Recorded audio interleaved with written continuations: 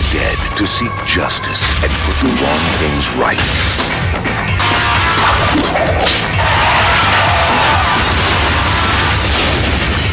You move, you're dead. I'm dead. And I move. Brandon Lee, It's not a good day to be a bad guy. The Crow, rated R.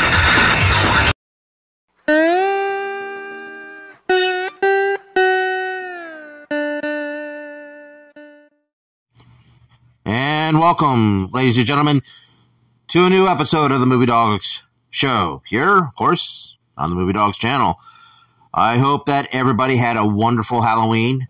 Uh, I want to take time to thank everybody for checking out the horror edition of the Movie Dawgs Show. Uh, that was a that was a hell of a ride. I've never done eight episodes in a succession before, and I managed to get it all done before the month of uh, November came to, upon us. Um, um, also want to thank those who had joined, uh, who has uh, subscribed to the channel during that time. Got a good, uh, good rise of uh, subscribers, folks. I want to thank you all for doing that, and those who liked and just shared their thoughts on the um, live chats and the um, and the uh, comment section down below. Um, I want to talk about this movie. I've been wanting to do a review on this movie for the whole, God, almost eight years that I've been doing this channel. Um, the Crow released in 1994, May of 1994. Um, next year will mark its 30th anniversary, which is God, it's hard to believe. Um, it was directed by Alex uh, Proyas, if I'm saying that right. He was also the director of another great movie from the 90s, Dark City. Highly recommend that. It was based off the comic book by James O'Barr from uh, uh, 1989. Um, the book was done out of sorrow and pain, as much as it mutes as you read it. Uh, O'Barr's fiance was killed in a car accident, and it prompted him to inspired him to write this book. Um, of course, it got turned into a movie, like many comic books. You know, around that time in the '90s, a lot of indie comics were kind of getting looked upon, and and new labels were forming, and The Crow was no exception. And then it got picked up, and uh, James O'Barr was very uh, inputted into the uh, making of this film.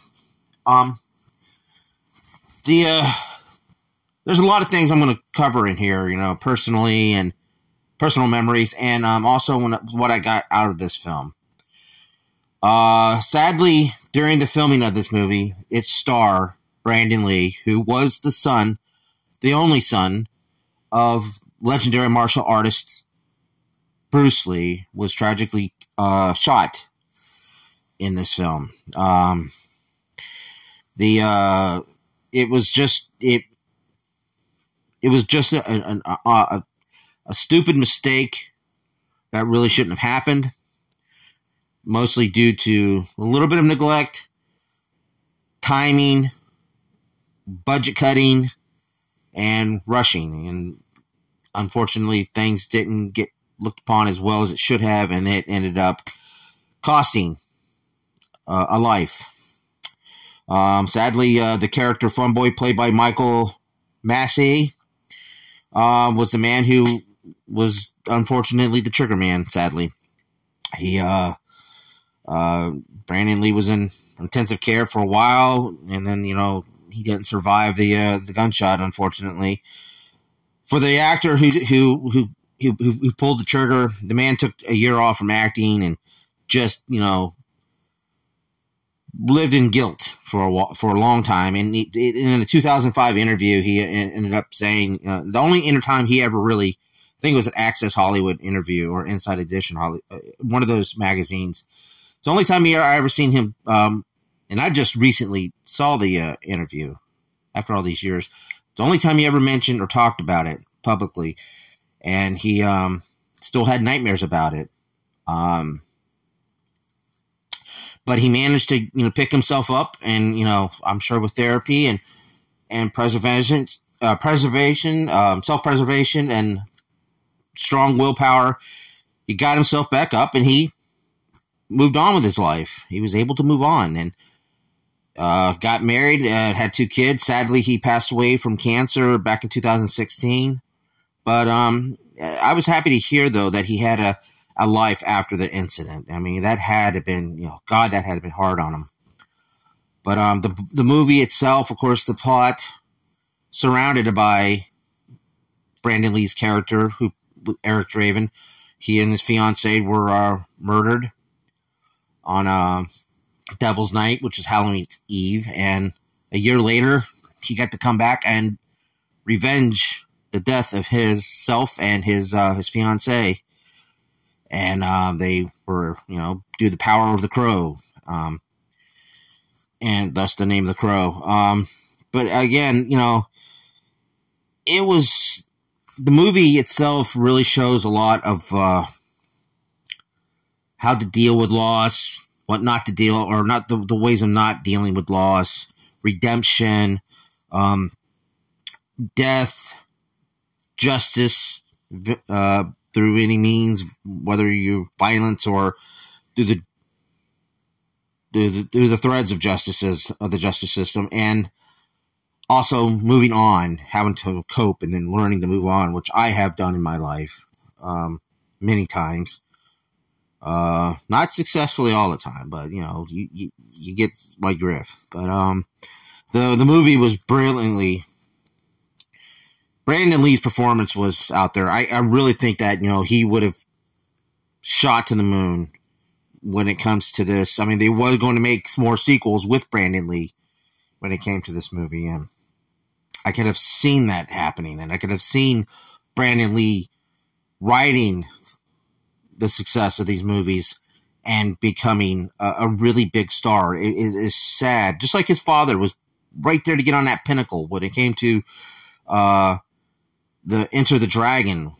Um, you know, he he got that big Hollywood deal, and, and it was going to be a great movie, regardless of whether he lived or died. And it was, and sadly, he didn't live to see that success. And Brandon Lee was very much praised by this movie. This movie actually was going to be distributed by Paramount, and Paramount was going to do it direct to video.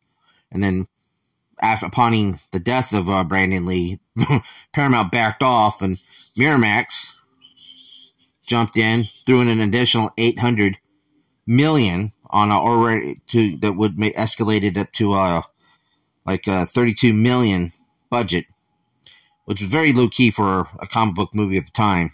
It went on to make, became a sleeper hit, and went on to make $94 million, um, which is not too shabby back in them days. But again, the, the cast itself, you had uh, um, Michael Wincott, who played one of the, he just played top dollar, and with that raspy voice he just, you know, had kind of like a southern charm kind of accent to it as well. He was just so great in this movie. You, you find him in so many other movies, especially Robin Hood, Prince of Thieves, and and so many others. Michael Wincott should be should have been right there up front in in in the public eye. Um, Bai Ling, those who knew a lot about pop culture and, and, the celebrities that you don't know how people are celebrities in the in the late '90s, early 2000s she was in the front run of that. Uh, Rochelle Davis, who played the character Sarah, who I actually spoke with on MySpace. Those who don't know, MySpace was a precursor to Facebook, but better. Um, she had a she was, had a public forum talking to people on the anniversary of Brandon's death at the time, and this was like uh, I think it was like the 15th anniversary or something like that. But you know, I actually got to speak with her and and it was, it was pretty cool. She had some pretty decent stories that I can remember about how gentle and nice and sweet Brandon Lee was towards her. Um, David Patrick Kelly, those who are fans of the Warriors, you know, he's the same guy that had the bottles clinking them together, yelling out, Warriors, come out and play. That's that guy. And he played uh, T Bird, who was the leader of the gang that was responsible for uh, Eric and Shelley's death. Um, you, uh, Tony Todd, those who uh, know Tony Todd, he's Candyman.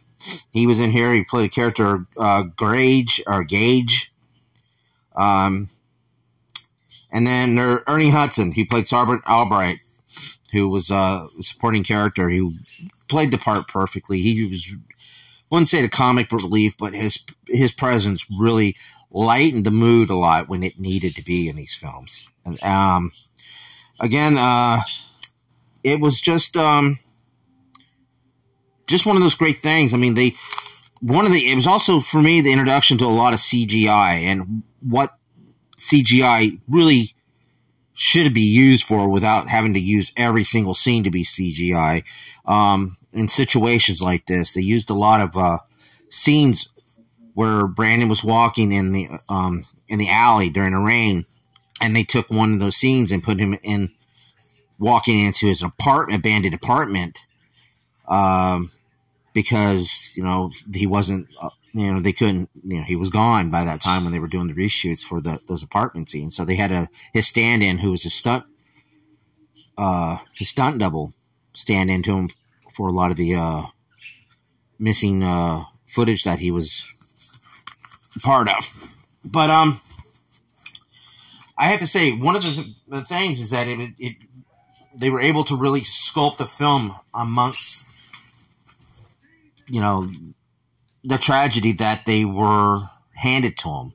Um, again, I still think this film was going to be a hit, regardless if Brandon Lee had died or not. I know a lot of us went there for the morbid curiosity.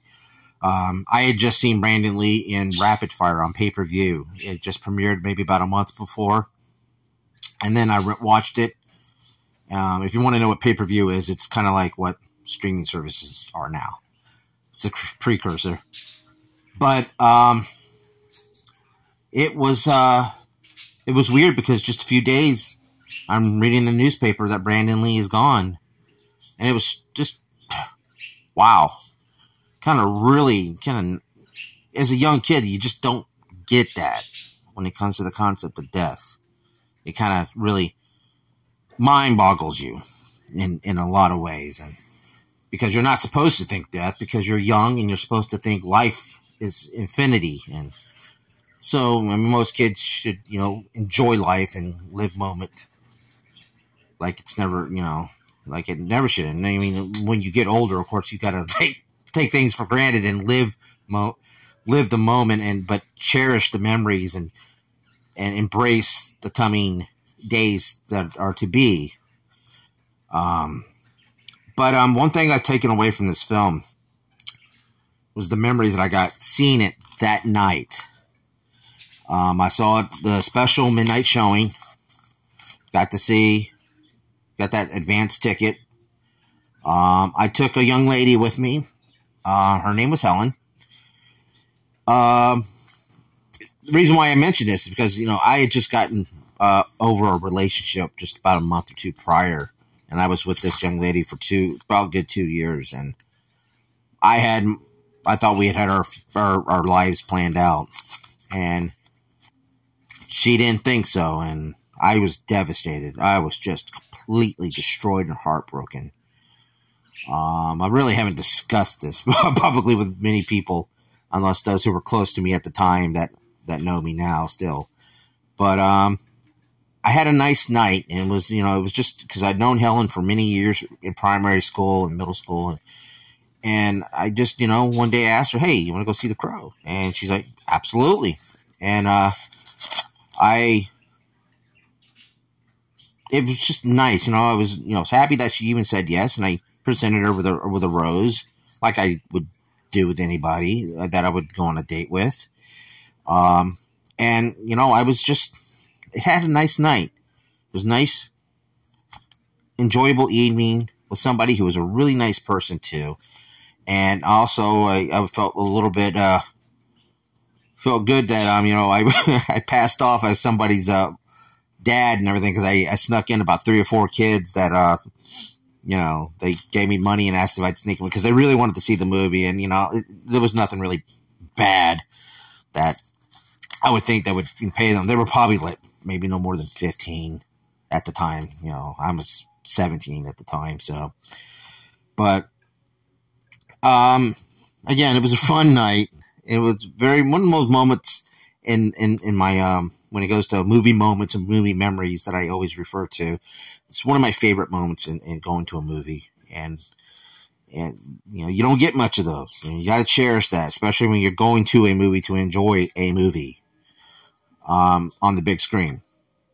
But um, I, I that year I I had got a lot of Crow memorabilia and everything from the video store. I had had the poster, which I re, uh, a couple years ago had had to uh, sell, but I had the video poster. I had it matted and always had it on my wall for the longest time, and I had this big cardboard cutout of Brandon Lee from Rapid Fire, and on the back of it was another movie, but I turned it around and painted it all black and put a bunch of other Crow, uh, made another Crow poster.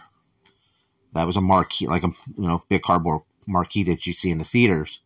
Um, that was uh, I had that for the longest time. Matter of fact, I ended up giving the whole thing to another friend of mine named Christina. How you doing, Christina? I'll tag you in this video on Facebook.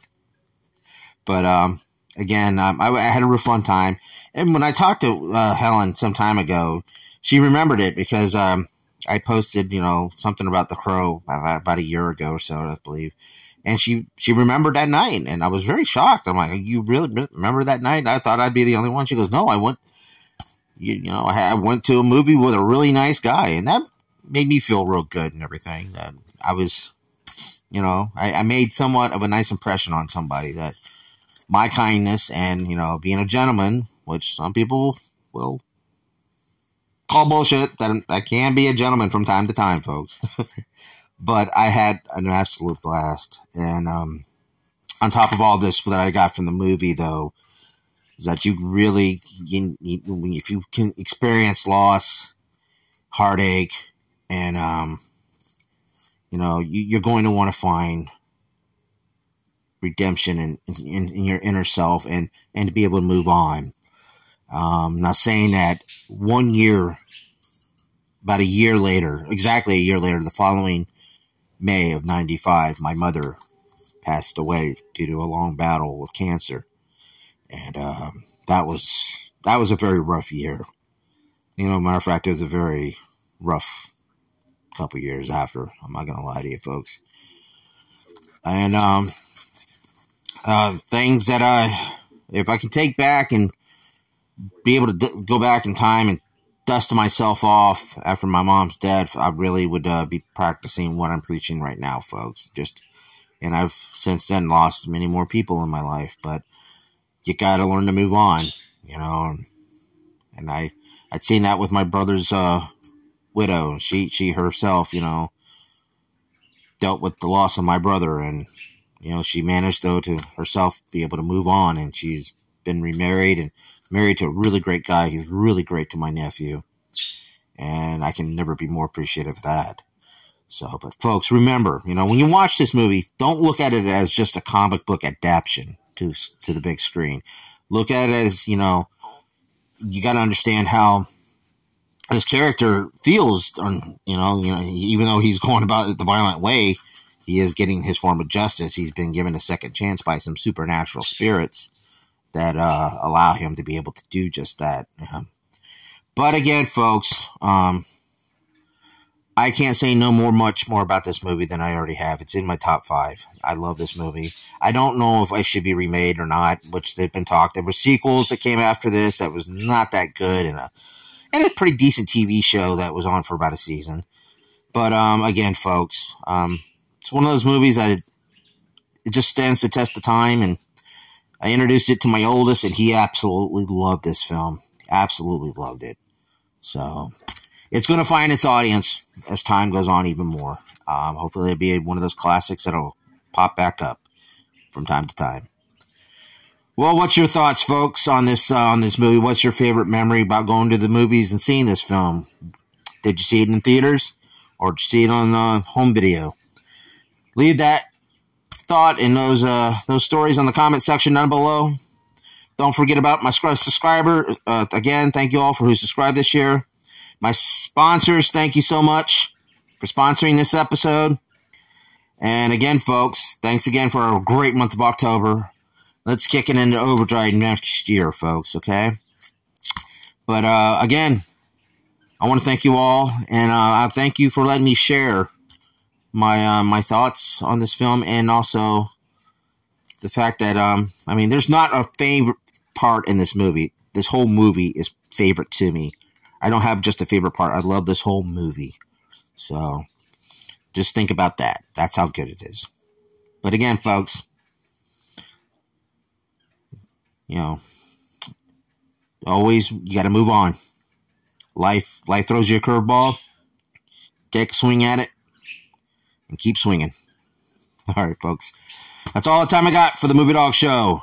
Again, hit that thumbs up, share, share away, and again, appreciate your all support. If you haven't yet, subscribe. Thanks for watching. Please keep on watching, folks. Bye.